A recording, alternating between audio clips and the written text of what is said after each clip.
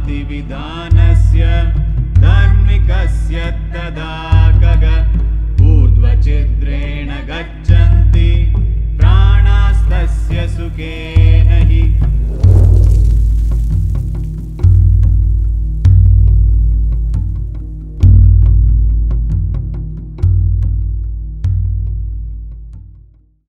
చూడండి కాలభైరవ కర్మ ఒక విధమైనది కాలభైరవ శాంతి మరో విధమైనది రెండు వేరు. చాలా కాలం క్రితం చనిపోయిన వారి విషయానికి వస్తే చాలా కాలం అంటే వారు పోయి నలభై ఎనిమిది రోజులు లేదా తొంభై రోజుల కంటే ఎక్కువ రోజులు అయ్యుంటే లేదా చనిపోయి తొమ్మిది నెలల కంటే ఎక్కువ కాలం అయ్యుంటే వాళ్ళు చాలా కాలం క్రితం చనిపోయిన వాళ్ళు. ఒక సంవత్సరమైనా రెండు సంవత్సరాలైనా పది సంవత్సరాలైనా పెద్ద తేడా ఏముండదు.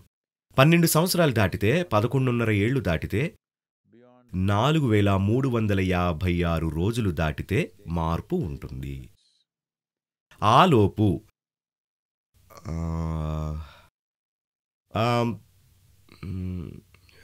ఎవరైనా చనిపోయినప్పుడు.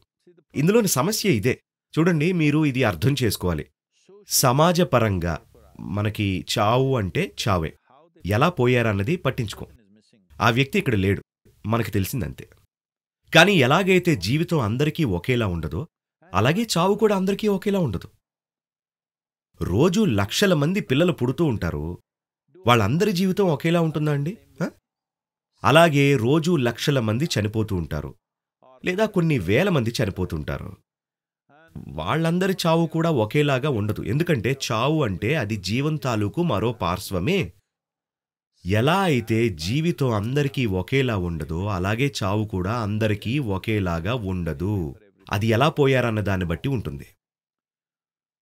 కాబట్టి శాంతి ప్రక్రియ అనేది చాలా వరకు వారికి ఏదైనా సహాయం అవసరమైతే దాన్ని అందించే ప్రయత్నం అనమాట మన పూర్వీకులకు తాత ముత్తాతలకు తల్లిదండ్రులకు లేదా ఇంకెవరికైనా కూడా.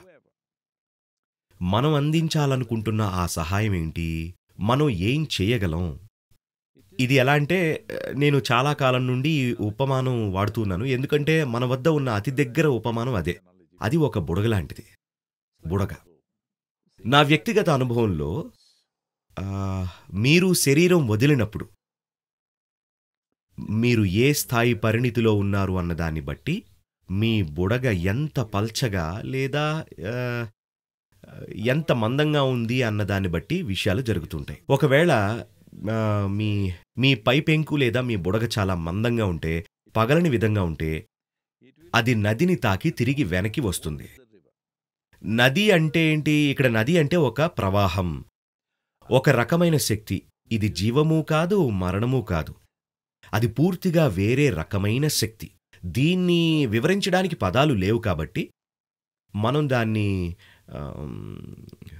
మిమ్మల్ని కాపాడే మిమ్మల్ని కరిగించే ఒక వేరే రకమైన శక్తి అని చెప్పుకోవచ్చు.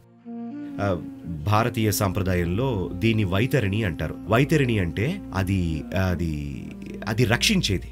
మిమ్మల్ని రక్షించగలిగేది. మరి రక్షించడం అంటే ఏంటి? అది భౌతిక నది కాదు. అది ఒక ఉపమానం. కానీ ఒక శక్తి ప్రవాహం ఉంది. శరీరం విడిచిపెట్టాక సహజంగా ప్రతి జీవి ఈ నది వైపుకి ప్రయాణిస్తుంది.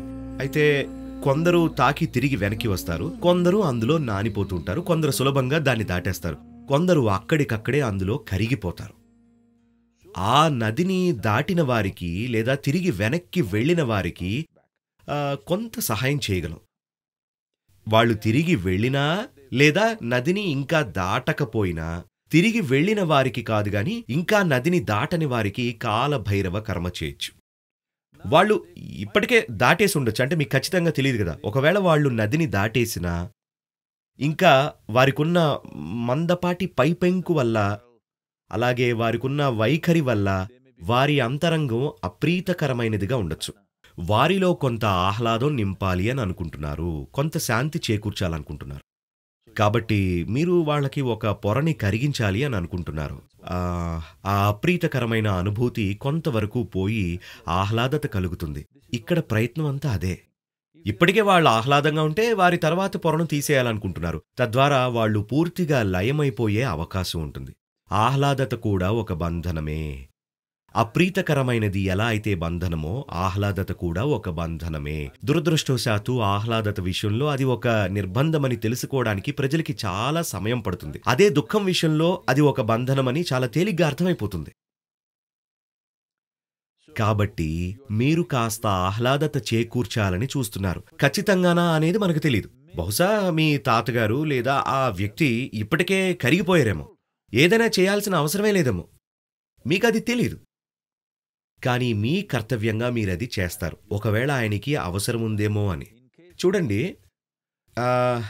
ఇది ఎలా అంటే మీరు ఇలాంటి క్రతువు చేస్తే ఇది ఆ వ్యక్తి గురించి మాత్రమే కాదు ఎందుకంటే మనుషులను ముడేసి ఉంచే రుణానుబంధం అనేది ఒకటి ఉంటుంది. మీరు మీ తాతగారి కోసం కాలభైరవ శాంతి చేశారు అని అనుకుందాం. ఆయన అప్పటికే లయమైపోయి ఉంటే ఆయనకు దాని అవసరం ఉండదు.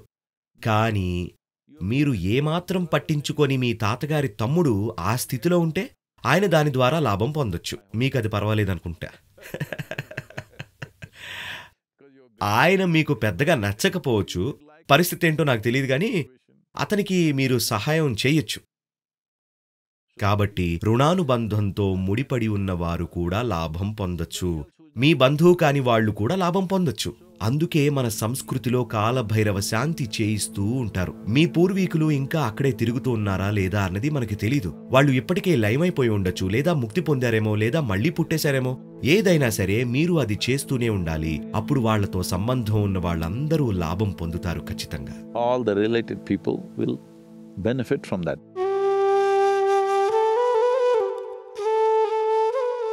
పితృపక్షం అన్నప్పుడు పితృ అంటే కేవలం మీ తండ్రి లేదా తాత మాత్రమే కాదండి. మన ఉనికికి మూలమైన ప్రతి ఒక్కరూ మనకి పితృలే.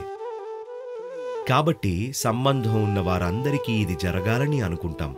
వారు మనకి నచ్చినా నచ్చకపోయినా తెలిసినా తెలియకపోయినా మనతో సంబంధం ఉన్న వారందరికీ మనం చేయగలిగినది మనం చేస్తాం.